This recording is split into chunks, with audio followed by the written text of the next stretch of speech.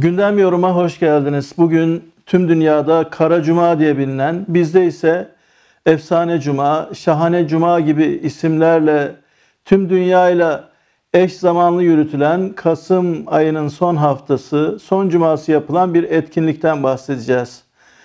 Daha doğrusu tam anlamıyla kapitalizmin insanlığı esir almasını konuşacağız. Öncelikle Efendimizin aleyhissalatü vesselam hadislerinde ifade edildiği gibi güneşin doğduğu en hayırlı gün cumadır. Cuma günü İslam dininin müntesipleri yani Müslümanların, müminlerin bayramıdır.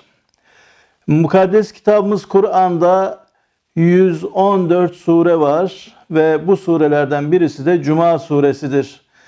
Cuma'nın kelime anlamı birleştiren, toplayan anlamına gelir ki kara ifadesiyle asla anılmayacak güzellikte, aydınlıkta özel bir gün, kutlu bir zamandır.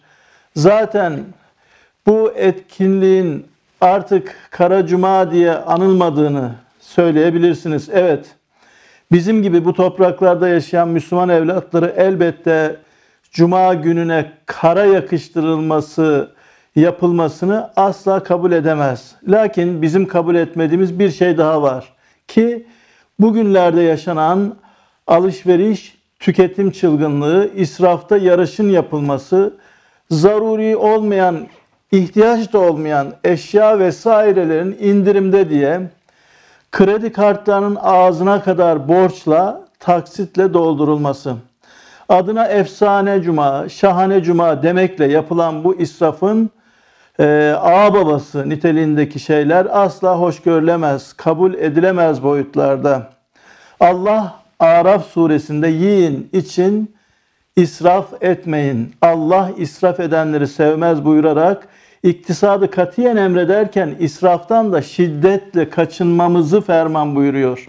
İsrafın çok sıkıntılı sonuçları görülmektedir. Birincisi parasını savuran, alışveriş günleri, indirim günleri diye lüzumlu lüzumsuz kat kat elbise, çeşit çeşit eşya vesaire alan kişi sonuçta aşırı borçlanmak zorunda kalır.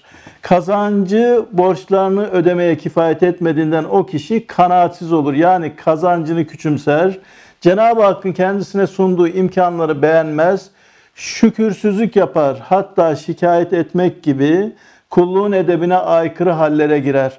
Bu olumsuz durum hayatın tadını tuzunu kaçırdığı gibi dini hayatı da bozmaya sebep olur. Ruh sağlığını da tehdit eder. Efendimiz Aleyhisselatü Vesselam kanaat eden aziz olur, tamah eden zillete düşer buyuruyor. İktisatla hareket eden izzetini muhafaza etmeyi başarırken aç gözlülük yapan yani israfa giren bu kapitalist oyunların kuklası olan kişinin zillete düşeceğini haber veriyor. Peki nasıl zillete düşülüyor? Dini hayatın zedelenmesi, ruhi hayatın tahrip edilmesi zillettir. Ayrıca bunlardan daha büyük bir tehlike var ki o da şudur. Faiz. Evet faiz. Efsane cumanın sonu faiz olursa çok yazık olur. Zira bunun yolu kolaydır. Borçlara ayağı takılan kişinin kredi uçurumuna düşmesi dolayısıyla faize bulaşma riski ciddi bir ihtimaldir. 1'e 20, 1'e 30 belki 1'e 100 öder. Tam maddi bir zarardır. Lakin bundan daha büyük bir zarar ayette de sabittir ki faizle iştigal eden ne Allah ve Resulü savaş açmıştır. Böyle bir tehdidin dehşetli bir durumun muhatabı olmak işte en büyük zillettir. Krediye girilmese bile kredi kartlarının asgarisinin ödenmesi, eksik ödenmesi gibi sebeplerden borçların faizlendirilmesi de aynı sonuçları doğurur. Peki ne yapmak gerekir? Efsane Cuma ve benzeri kampanyalara aldanmamak gerekir.